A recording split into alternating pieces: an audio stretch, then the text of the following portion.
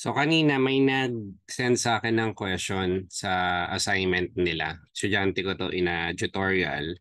Ito yung binigay niya. Ang question niya sa akin, um, paano daw ba maka-factor tong expression sa baba? Itong 2y cubed minus 3y squared minus 8y minus 3. Nung tinignan ko siya, ang unang nasa isip ko is baka kailangan siya ng factoring by grouping. So, pinagdikit ko tong 2y cubed tsaka 8y. Tapos yung 3y squared tsaka yung 3y.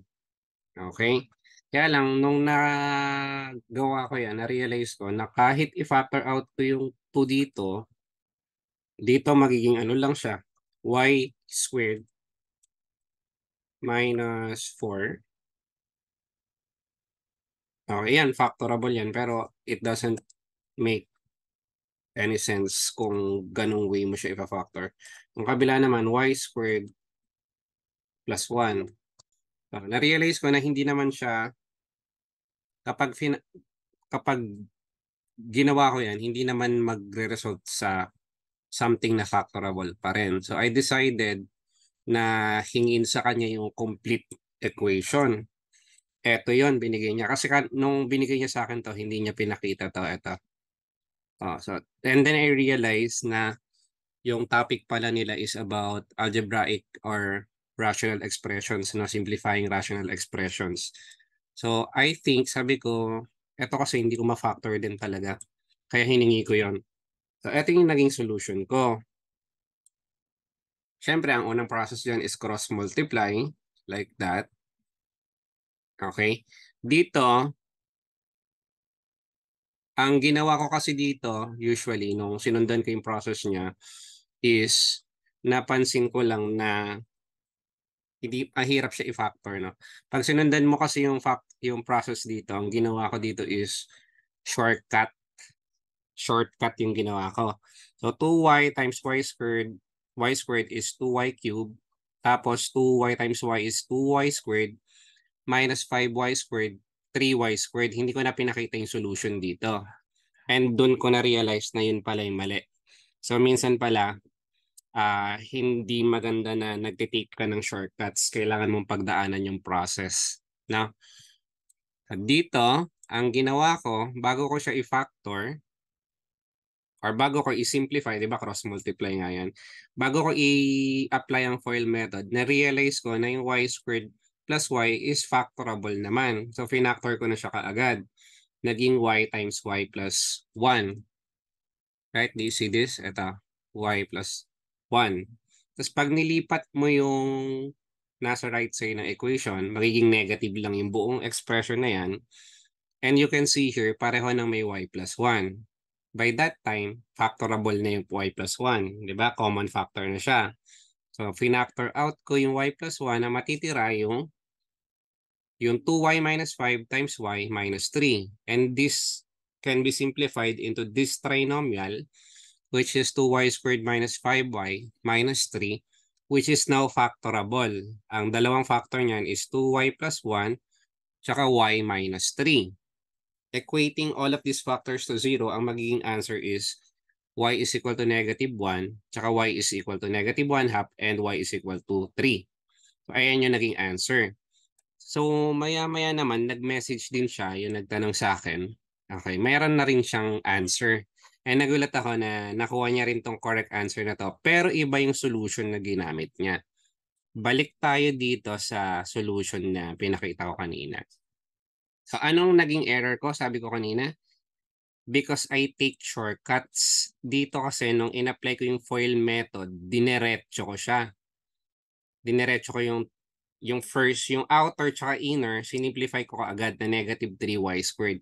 And that's what makes it complicated. Ngayon, kung hindi mo kasi issue shortcut, pakita natin solution kapag hindi mo shortcut. Okay, eto siya.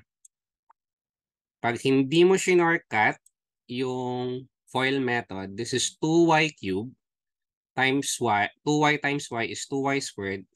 Negative 5 tsaka y squared is negative 5y squared. Negative 5 times y is negative 5y. Ito distribute mo, this is 3y times 3. Right? So y minus y plus 3 yan, tinranspose ko sa kabila, kaya dalawang negative yan. So in this case, nung hindi siya nag-shortcut, mas naging malinaw kung ano yung solution. Kasi dito, mas madaling mo makikita oh, kung ano yung pwedeng i-factor out. Parehong 2, 2, 2, 5, 5, 3, 3.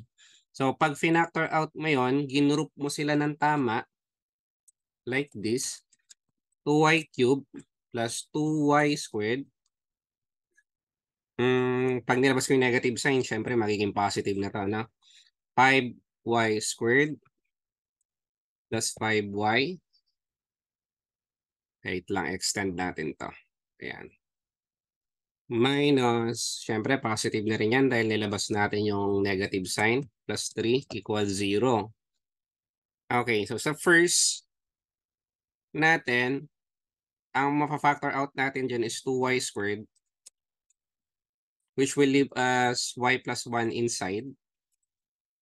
Minus 5y, ang matitira dito is y plus 1 pa rin. Tapos dito, 3, ang matitira pa rin dyan is y plus 1 is equal to 0. Then, as you can see here, lahat yan may y plus 1 babalik lang din dun sa solution na ginawa ko dun sa kabilang, yung kaninang solution na pinakita ko. Okay? So here, pag nilabas mo na yung y plus 1, y plus 1 factoring out, ang matitira yung lahat ng nasa harap. Ano yung sinasabi kong lahat ng nasa harap? Ito, bilugan natin para makita. Ayan, ayan, ayan. Diba? So, iyang tatlo. And then, ito yan, 2y squared minus 5y minus 3. This now is factorable. Yung trinomial na yan, kaparehas na siya nung kanina. Ito.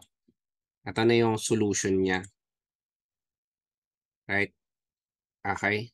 Ayan. Napansin niyo yung binax ko ng red. Same na kami ng Magkaiba kami ng process na dinaanan pero same lang yung naging final solution namin. And of course, pag sinimplify mo yan, babalik lang uli yan dun sa naging solution ko. Ganto lang din. Okay, ayan. Oh. Ayan siya. Diba? Tapos ito lang din magiging answer sa final. Negative 1. Siyempre negative 1 half. Tsaka 3. Okay? So kung student ka as tas may questions ka sa assignments mo or activity mo, feel free to message me kasi tutulong naman ako basta may time ako or hindi ako busy. Okay? Share ko lang to kasi nga na-amaze lang din ako sa solution na ginawa ng student ko, si Zemone. Na, uh, nung una, nagtanong siya, hindi ko rin talaga alam yung solution right away. So nag-create lang din ako ng process para ma ma-solve ko siya. Okay, tapos in doing that, nabigyan ko rin siya ng clue na sabi ko ang gagawin kasi dito, factoring by grouping. So nag-create din siya ng sarili niyang solution which is this one. Okay? And meron lang din akong mga realizations dito, no? Yung pagtitake ng shortcuts. Ako kasi overthinker din ako. Tsaka mahilig ako sa mga shortcuts, shortcuts. So minsan pala, no?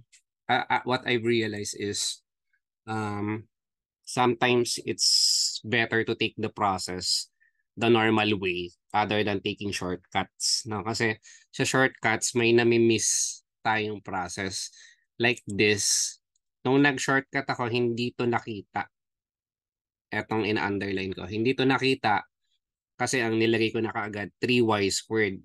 And that makes it complicated kasi ang hirap niyang hanapan ng factor. Pero nung hindi nag-shortcut, yung student ko kagaya niyan, yung ginawa niya, naging mas malinaw yung path.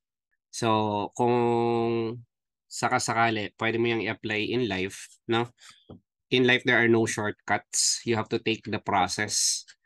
Na kung nasang process ka man ngayon, sulitin mo yan kasi meron kang makikitang lesson kagaya nito. And another thing na realization about this is in every problem, rin lagi kong sinishare sa mga students ko, in every problem, there's always so many ways to solve it.